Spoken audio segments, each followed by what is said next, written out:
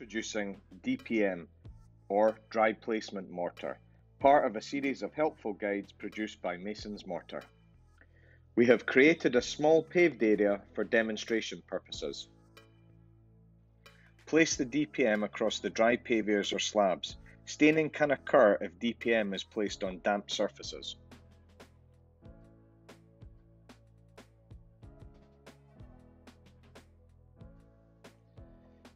You can either take a stiff brush or use a trowel to move the DPM around the area, filling the joints as you go. After covering the majority of the area, take a soft brush, continue to move the DPM around, filling all the joints.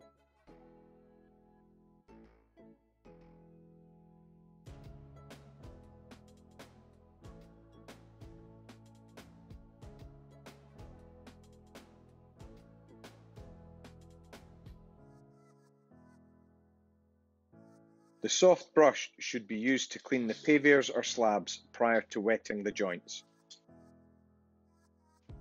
Begin with a light mist, dampen the joints, wash the excess material from the surface.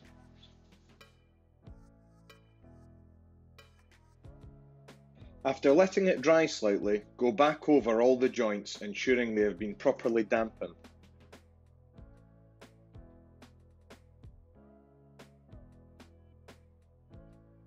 Excess water sitting on the surface of the joints will be drawn in by the mortar. Cover it with Hessian and spray with a hose. Leave it for about half an hour. If the temperature is higher, you may need to dampen again. After about 30 minutes, remove the Hessian.